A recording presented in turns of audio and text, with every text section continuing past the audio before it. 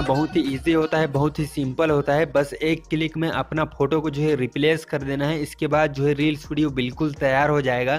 तो पूरा प्रोसेस मैं बताऊँगा, बस इस वीडियो को पूरा ज़रूर देखना। तो सबसे पहले तो वीएन प्रोजेक्ट डाउनलोड करना पड़ेगा। इसके बाद जो है एडिटिंग करना है। तो सबसे पहले VN प्रोजेक्ट डाउनलोड करने के लिए गूगल क्रोम ओपन कर लेना। गूगल क्रोम ओपन करने के बाद यहाँ पर सर्च बॉक्स होता है। तो इस सर्च बॉक्स पे ऐसे क्लिक करना। इसके बाद यहाँ पर सर्च कर देना है the R T world dot com तो जैसे मैं टाइप कर रहा हूँ, बिल्कुल वैसे ही टाइप करना है, नहीं तो बिल्कुल वर्क नहीं करेगा। तो यहाँ पर जैसे मैं टाइप कर रहा हूँ, वैसे ही टाइप करना। The R T world dot com लिखना है, इसके बाद यहाँ पर सर्च कर देना है। तो यहाँ पर ये वाला वेबसाइट जो है ओपन हो जाएगा। तो इस वेबसाइट में जो है हल्का सा ऐसे नीचे जाना। नीचे जाने के बाद यहाँ पर सबसे स्टार्टिंग में होली रील्स वीडियो एडिटिंग आ जाएगा। तो यहाँ पर शो नहीं हो रहा होगा तो यहाँ पर ऊपर में देख सकते हो एक सर्च का आइकॉन है। तो यहाँ पर दिख रहा होगा। तो इस सर्च के आइकॉन को क्लिक करना है इसके बाद यहाँ पर होली रील्स वीडियो बस सर्च कर देना है। या तो फिर सिर्फ़ और सिर्फ़ होली रील्स सर्च करोगे तो यहाँ पर सबसे ऊपर में आ जाएगा यही वाला पेज तो सर्च कर देना कुछ इस टाइप से। इसके बाद यहाँ पर सबसे ऊपर में आ गया होगा यही वाला पेज तो इस पेज में जो है क्लिक कर देना है। तो यहाँ पर इसे जो है मैं क्लिक कर देता हूँ तो कुछ इस टाइप से क्लिक कर देना है। तो क्लिक करने के बाद ये जो है ओपन हो जाएगा। इसी पेज में जो है वीएन प्रोजेक्ट जो है डाउनलोड करने को मिलेगा तो इस पेज में जो है नीचे जाना ऐसे। तो यहाँ पर कुछ इस टाइप से स्क्रॉल करना, ज़्यादा नीचे मत जाना, हल्का सा ऊपर कर लेना, ज़्यादा नीचे चलेगा या हो गए तो। यहाँ पर प्रोजेक्ट डाउनलोड नाउ का एक बटन दिखाई दे रहा होगा, ब्लू कलर का बटन होता है, लिखा होता है प्रोजेक्ट डाउनलोड नाउ। उसे जो है क्लिक कर देना है। इसके बाद यहाँ पर कोई से भी ब्राउज़र सिलेक्ट कर लेना। तो मैं यहाँ पर ये वाले ब्राउज़र को जो है सिलेक्ट कर लेता हूँ। इसके बाद यहाँ पर जो है ऑटोमेटिक गूगल ड्राइव का पेज ओपन हो जाता है।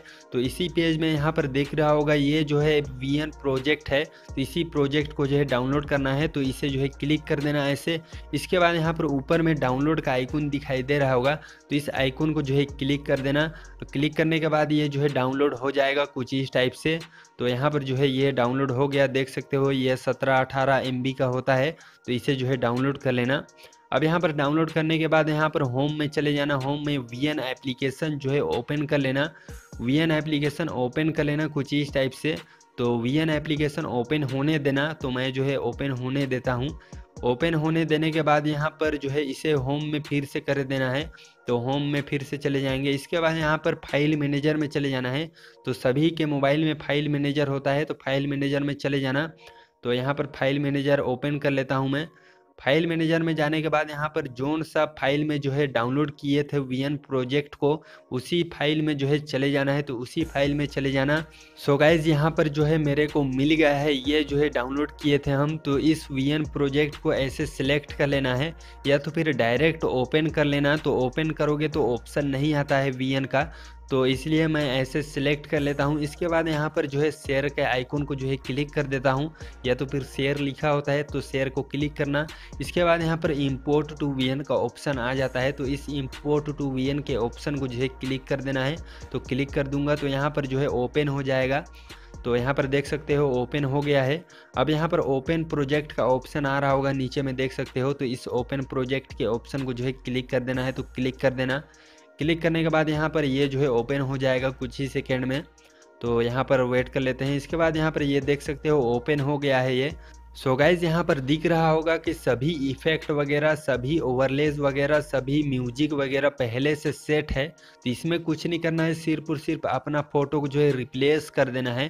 तो अपना फ़ोटो को रिप्लेस करने से पहले एक बार प्ले करके देखना चाहते हो तो प्ले करके देख सकते हो। तो अपना फ़ोटो को रिप्लेस करने के लिए यहाँ पर इसे जो है हल्का से जूम कर लेना। अगर जूम नहीं करोगे तो इधर उधर हो सकता है, इसलिए बेहतर होगा कि कुछ इस टाइप से जैसे मैं कर रहा हूँ वैसे ही हल्का से जूम कर लेना ताकि जो है फ़ोटो अच्छे से क्लिक हो जाए और रिप्लेस अच्छे से हो जाए। तो यहाँ पर अच्छे से कुछ इस टाइप से जूम कर लेना। इसके बाद यहाँ पर ऐसे क्लिक करना फ़ोटो को। तो यहाँ पर पहले नंबर के फ़ोटो को क्लिक करते हैं। इसके बाद यहाँ पर रिप्लेस का ऑप्शन दिखाई दे रहा होगा। लिखा भी होता है रिप्लेस उसे जो है क्लिक कर देना।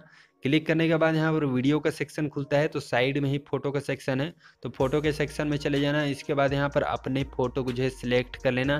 तो मैं यहाँ पर ये वाले मॉडल के पिक को जो है सिलेक्ट कर लेता हूँ। तो इसे मैं सिलेक्ट कर लूँगा कुछ इस टाइप से। तो यहाँ पर इसे सिलेक्ट कर लेना है। तो यहाँ पर मैं इसे सिलेक्ट कर लिया तो ये जो है रिप्लेस हो गया, देख सकते हो। अब यहाँ पर दूसरे फ़ोटो के पास जाऊँगा। इसके बाद यहाँ पर इसे भी ऐसे क्लिक करूँगा और इसको भी जो है रिप्लेस कर दूँगा कुछ इस टाइप से। इसके बाद यहाँ पर फिर से फ़ोटो के सेक्शन में जाऊँगा। फिर से जो है अपना फ़ोटो जो है सिलेक्ट कर लेना है। तो मैं यहाँ पर ये वाले मॉडल के पिक को फिर से जो है क्लिक कर लूँगा। इसके बाद यहाँ पर फिर से तीसरे नंबर के फ़ोटो में जाऊँगा और यहाँ पर फिर से ऐसे क्लिक करूँगा, फिर से रिप्लेस वाला ऑप्शन आएगा, फिर से जो है क्लिक कर दूँगा। और यहाँ पर फिर से फ़ोटो वाले ऑप्शन में जाना है और यहाँ पर फिर से अपने फ़ोटो को जो है क्लिक कर देना है। तो इसी टाइप से जो है सभी इमेज में कर लेना है। तो मैं जो है वीडियो को फास्ट कर दिया हूँ क्योंकि बहुत ही ज़्यादा लंबा हो जाएगा वीडियो इसलिए तो आप जो है आराम से कर लेना। सभी फ़ोटो में जो है अपना फ़ोटो को जो है रिप्लेस कर लेना है। सो गाइस तो यहाँ पर जो है सभी फ़ोटो में जो है अपना फ़ोटो जो है रिप्लेस हो चुका है। देख सकते हो? तो वीडियो के स्टार्टिंग में जाके प्ले करके देख सकते हो। वीडियो सही से वर्क कर रहा है नहीं कर रहा है। इसके बाद यहाँ पर इसे जो है एक्सपोर्ट करना होगा तो ऊपर में ही एक्सपोर्ट का ऑप्शन दिखाई दे रहा होगा, उसे जो है क्लिक कर देना। इसके बाद यहाँ पर नीचे में राइट का आइकन दिखाई दे रहा होगा तो इस राइट के आइकन को जो है क्लिक कर देना तो ये जो है एक्सपोर्ट होना स्टार्ट हो जाएगा। तो वी एप्लीकेशन में जो है एक्सपोर्ट तो कर लिए, अब यहाँ पर जो है ये कलर इफ़ेक्ट जो है नहीं आया है। यानी कि एक्स्ट्रा कलर एडिटिंग करना चाहते हो तो अलाइट मोशन एप्लीकेशन का यूज़ करना पड़ेगा। तो मैं यहाँ पर अलग से वीडियो बना के रख दिया हूँ कि वीडियो को कैसे कलर ग्रेड करें अलाइट मोशन में। तो यहाँ पर कलर ग्रेड कर सकते हो अलाइट मोशन में वीडियो लिंक डिस्क्रिप्शन में है उसे देख लो। तो कुछ इस टाइप से बहुत ही ईजी था इस टाइप का एडिटिंग करना। तो वीडियो अच्छा लगे तो प्लीज़ जो है लाइक करना।